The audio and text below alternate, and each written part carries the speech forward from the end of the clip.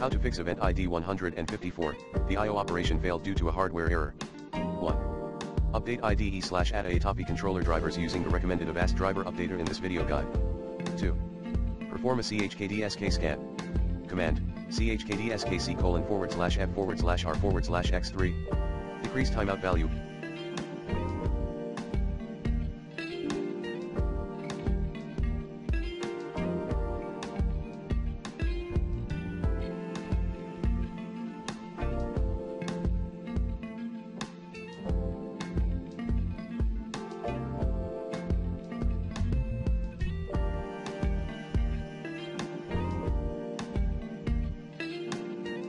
Registry editor.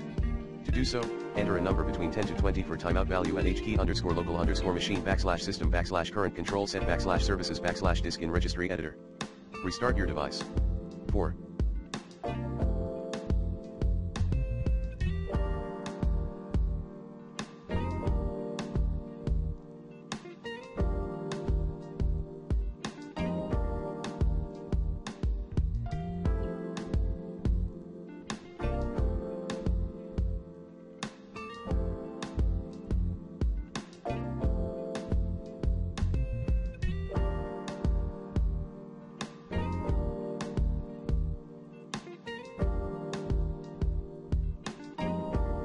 Update BIOS.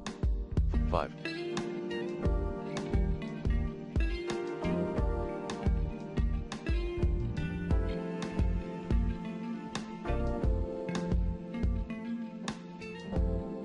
Check hard drive for physical damage. 6.